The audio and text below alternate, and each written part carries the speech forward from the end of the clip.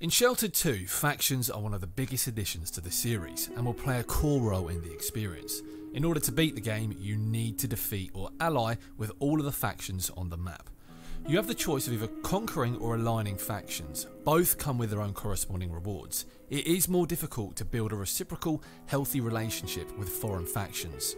Your rewards, however, are greater if you manage to strike a partnership with other factions.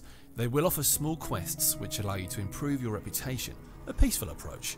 Alternatively, you can choose to fight factions. You can just wipe them out entirely, take over their outposts, and make them your own.